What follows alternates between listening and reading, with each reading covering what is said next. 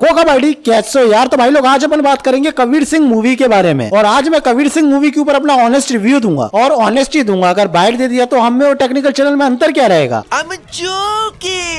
तो यार सबसे पहले तो मैं आपको ये बताना चाहूँगा कबीर सिंह मूवी मुझे पर्सनली बहुत अच्छी लगी। देखिए लिटरली मैं मूवीज़ वगैरह नहीं देखता हूँ। मेरी last movies M S Dhoni और दृश्यम रही है और उसके बाद शायद मैंने अब ये कबीर सिंह देखी है। और वाकई में पर्सनली ये मूवी मुझे बहुत ज़्यादा पसंद आई है। धागा खोल दिया एकदम। तो यार सबसे पहले तो अपन बात करते हैं कि लड़कियाँ इस मूवी से ऑफेंड क्यों हो रही हैं? और लड़कियाँ नहीं फेमिनिस्ट लड़कियाँ क्यों ऑफेंड हो रही हैं? तो यार देखिए मूवी का सीन ऐसा है कि इसमें शाहिद कपूर यानी कि जो लीड रोल में है शाहिद कपूर उसको थोड़ा सा वजनदार दिखाया गया है एज कंपेयर टू हीरोइन जिसमें मेरे ख्याल से कोई बुराई नहीं है क्योंकि इस मूवी के डायरेक्टर ने थोड़ी सी कोशिश कर दी जो कि हमारे इधर के डायरेक्टर नहीं करते यानी कि थोड़ी सी रियलिटी दिखाने की। भाई हमारी इंडियन बॉलीवुड नहीं कोशिश करती ना यार और अगर कोई करेगा तो उससे ऑफेंड होना तो बनता है ना यार। नहीं सीरियसली जो भी लड़कियाँ इस मूवी से ऑफेंड हो रही है ना इनको जाके आप की एंड कार दिखाओ वीरे दी वेडिंग दिखाओ ये खुश हो जाएँगी। भाई! और जो लड़कियाँ ये बोल रही है ना कि इस मूवी में ड्रग को प्रमोट किया जा रहा है या फिर एल्कोहल को प्रमोट किया जा रहा है यही लड़कियाँ ना पब में जाके चार बोतल बोतका पे डांस करती हुई नज़र आती है। हिपोक्रेसी की भी सीमा होती है। तो यार सबसे पहले तो अपन इस मूवी की थ्योरी क्लियर करते हैं जिससे लड़कियाँ ऑफेंड हो रही है। सॉरी फैमिली से लड़कियाँ ऑफेंड हो रही है। चलो भाई।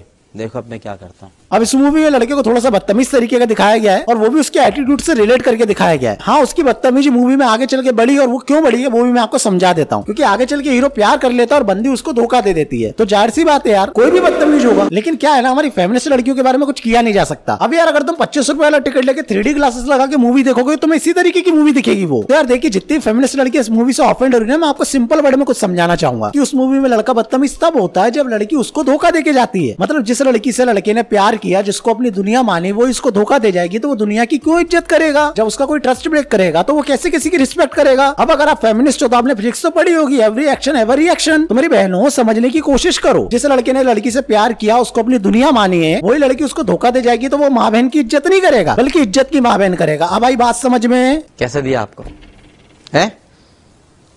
नहीं दी अच्छा। और जितनी भी लड़कियाँ ये कह रही है ना कि लड़कियों को डंप दिखाया गया या फिर गलत तरीके से दिखाया गया तो मेरी बहनों प्लीज़ पढ़ी लिखी तो होगी गूगल कर लेना। जाके सर्च रिज़ल्ट में एक बार लड़कियों लड़कियों का रेशियो देख लेना कि प्यार में धोखा खाने के बाद कौन लोग ज़्यादा सुसाइड करते मतलब कौन सा जेंडर ज़्यादा सुसाइड करता है। आंकड़े और औकात दोनों आपके सामने आ जाएँगी। ऐसे ही आज से कुछ साल पहले एक मूवी आई थी डियर ज़िंदगी उसमें शाहरुख भाई का एक डायलॉग था कि अगर आप दुकान में सोफा खरीदने जाते हैं तो आप चार पाँच सोफे में बैठ के देखते हैं। जो सोफा आपके लिए कंफर्टेबल होता है आप उसे खरीद लेते हैं। ऐसी चीज़ रिश्तों में भी होती है। लड़की को सही लड़के को सिलेक्ट करने में टाइम लगता है मतलब ट्राई करती है ना। लेकिन लेकिन लेकिन ये कंडीशन सिर्फ़ लड़कियों पे लागू होती है। क्योंकि अगर लड़का ऐसा कर देगा तो he's a fuck boy he's a play boy एकदम इन्होंने वक्त बदल दिया जज्बात बदल दिए ज़िंदगी बदल दी। तो ये सोफा वाली कंडीशन सिर्फ़ लड़कियों पे लागू होती है। इन दी सेंस में कहना चाहता हूँ की हिपोक्रेसी की भी सीमा होती है। नहीं इस मूवी से वही लड़कियाँ ऑफेंड हुई है जो सोनम कपूर को अपना आइडल मानती है। और अगर कोई सनी लियोन की डिसरिस्पेक्ट कर देता है तो ऑफेंड हो जाती है। अरे शर्म करो। नहीं फेमिनिस्ट लड़कियों की ना एक बात बहुत ज़्यादा खास होती है। इनके हिसाब से अगर कोई लड़का इनकी सिक्योरिटी के लिए इनके ऊपर रोकथाम कर रहा है तो या तो वो या फिर बहुत ज़्यादा पॉजिटिव है। तो देखो मैं तुम्हें एक छोटी सी स्टोरी के साथ समझाना चाहूँगा। आई होप से तुम इस स्टोरी से रिलेट कर पाओगे। तो देखो अगर किसी के पास हीरा है तो वो उस हीरो को रोड पे ऐसा उछालता नहीं फिरेगा या दुनिया को दिखाता नहीं फिरेगा कि यार देखो मेरे पास हीरा है मेरे पास हीरा है। वो इस हीरे को अपनी अलमारी में संभाल के रखेगा फॉर सिक्योरिटी रीजन ऐसा तो है नहीं कि हीरा चल के किसी और के पास चला जाएगा? नहीं। बल्कि ये हो सकता है कि उस हीरे को कोई और चुरा ले। मतलब उसको हीरे पे शक नहीं, उसको दुनिया पे शक है। तो यही कंडीशन वो अपनी बंदी यानी कि गर्लफ्रेंड के साथ करता है। वो लड़की को इसलिए नहीं रोकता कि उसको लड़की के ऊपर शक है या उसकी फ्रीडम छीनना चाहता है। उसे दुनिया पे भरोसा नहीं है। और वो तुम्हारी सिक्योरिटी के लिए ये चीज़ करता है, लेकिन वो तो है क्योंकि वो लड़का है।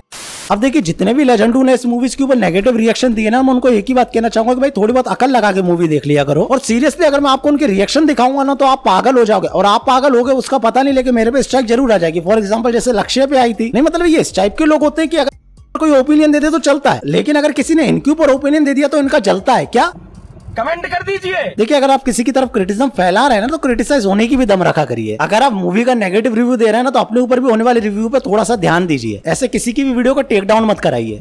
नहीं सीरियसली मुझे इंडिया का समझ नहीं आता। बोलना सबको आता है, सहना किसी को भी नहीं आता। तो यार आई डोंट नो कि तुम लोगों को वीडियो कैसा लगा होगा। तो यार, जो मेरा ओपिनियन था, वो मैंने तुमको दे दिया। है कमेंट सेक्शन डिसलाइक बटन ये सब तुम्हारा वीडियो बनाना मेरा काम था वीडियो चलाना तुम्हारा काम है। अब तुम चाहो तो कमेंट में गालियाँ दे सकते हो डिसलाइक बटन को प्रेस कर सकते हो वीडियो को शेयर भी कर सकते हो, जैसा तुम चाहो, वैसा तुम कर सकते हो।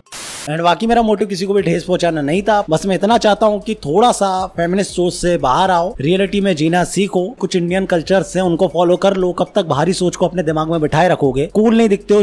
दिखते हो ये बात मैं तुमको समझाना चाहता हूँ। बाकी पर्सनली मुझे किसी से भी कोई हेट नहीं है। And and and as usual बताना चाहूँगा कि वीडियो एक मज़ाक है मज़ाक की तरह लें। तो ठीक है मैं यूट्यूब फैमिली आज का वीडियो पे खत्म करते हैं। खुश रहिए हँसते रहिए। मिलते हैं नेक्स्ट वीडियो में मैं हूँ सपोर्ट में?